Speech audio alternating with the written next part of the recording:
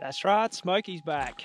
You can see the uh, machine in the background here. We've just pulled up to a new spot in Mount Stewart and uh, on the board straight away in the first five minutes. We thought today we'll go for a bit of a prospect, so to speak, away from the uh, the piles, the blow drying piles, just because obviously there's gold where the old timers were, but we thought we're not really learning anything there, so we thought we'd use the little knowledge that we've got of this place so far and um, and basically it's this is a contact zone on trilobite and uh, all the gold we've found has been just off the edge of the of, of that contact zone. So grab a pen moment for today. Check trilobite look for the contact zones out here. So we'll see how much more comes up over here. We're on a contact zone again and and I was going to go for a hunt but I didn't make it too far from the car in reality. So that's a good thing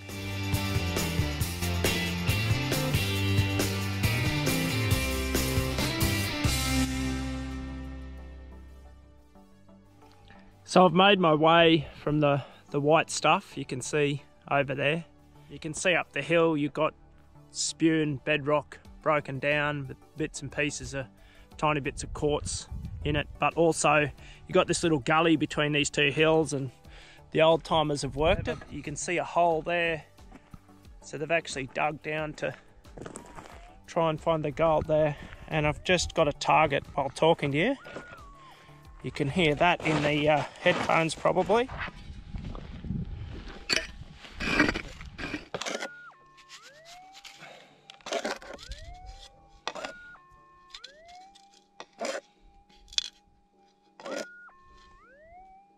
Yeah, a bit of junk I think.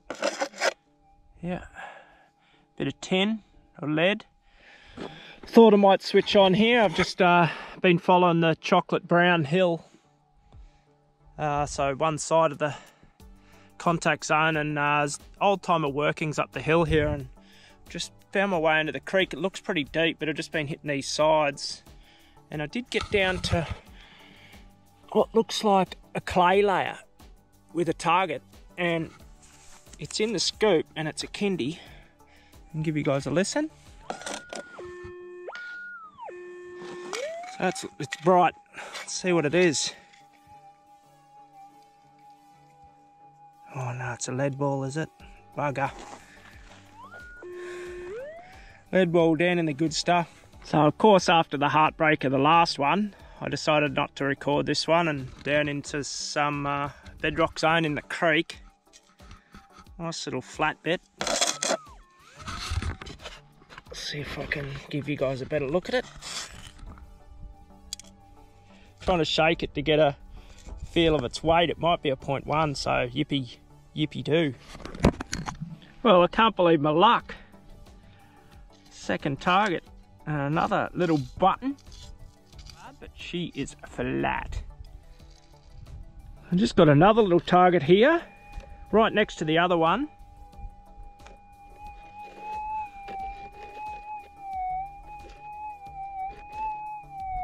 Going in this, still going in this hole.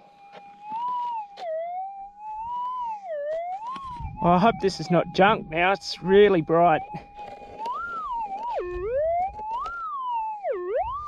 It's definitely on the bottom there because I just pulled out a bit of bedrock, so hopefully it's not junk. So I'm not sure whether you guys can make it out, but it looks to be a bit of gold at the top of my finger there. But I'm thinking that's not it. So whatever it is I've got in the scoop, that was in the hole, but tried to find that other little piece, but uh, kind of got away from me. Let's let's see if this is what it was. Look at that. Another little button. I wonder whether that was it. I want an instant replay. Go back and see whether that was actually the bit that we found. But oh, look at the depth on that. That's got to be down, oh, I'd say probably 150 because this wall was tapering anyway. This wall was tapering here anyway, so. But that's still a great grab for the nugget finder. And the other bit was just there, so I might just have a bit of a scratch out here and see if we can find another bit because obviously this is where it's collecting. So that's not bad. Five, five targets in. five gold targets in, I should say. Geez, they're very little buttons, aren't they? You know, they're little round little numbers. But that's all right. That's a decent bit for this place. Well, we're back again in the same hole, and I've just put the coil over in the hole itself without doing a single thing. And uh, we've got another target.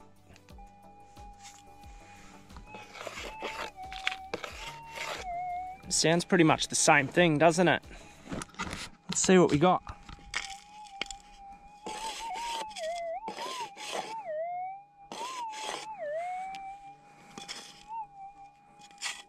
Another one. Wow. Another one. Wow. Might have to get Jo up here with the uh, Tech uh, 10 by 5 because it would destroy this creek. So how's that? Three in the one hole. I think I'm at six now for the day, so this uh, hole's going to get dug a little bit out and maybe find a, a button collection in here. So how good. Can't complain. Good start to the day. Go back and see how Jo is and maybe bring her up this creek because this gully looks like it goes for a fair while. Well, so. the Coiltek coil's good. The Nugget Finder definitely holds its own. You probably won't even be able to make it out in that. And this is the second one. So the second one after I switched off last time, this one's the smallest of all. There it is. Another button. Look at it, perfectly round. That's the fifth one out of this hole. Keep going like that all day and might have half a gram. no, not knocking it. Gold's gold.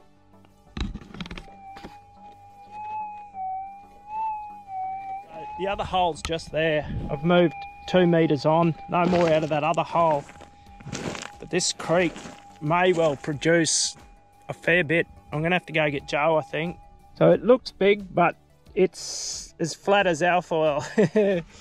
yeah, I can't even feel it between my fingers. It's that flat. Uh, another tiny bit, so keeps going this creek. I'll go get Jo, I think. Um, but you can see, definitely, definitely a clay layer down in this.